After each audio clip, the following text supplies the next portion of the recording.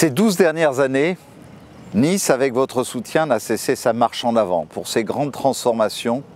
dans le respect de son histoire et de son identité. Et je veux dire que Françoise Monnier, comme Bernard Assot, ont été de ceux de mes adjoints et de vos conseillers départementaux dans ce canton qui ont largement contribué, que ce soit pour sa modernisation, sa végétalisation avec la ligne 2 du tramway, la grande coulée verte, mais aussi tout ce que nous avons rendu en pouvoir d'achat sur euh, le tarif des transports, sur euh, les crèches, sur euh, l'action sociale, sur les grandes solidarités, la culture, le sport. Naturellement, nous avons besoin que votre bulletin,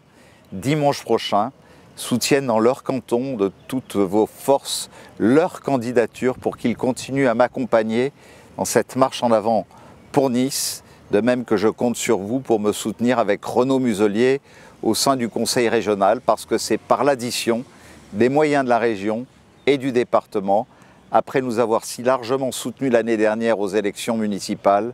que nous pourrons avec Nice continuer à relever les défis de l'avenir.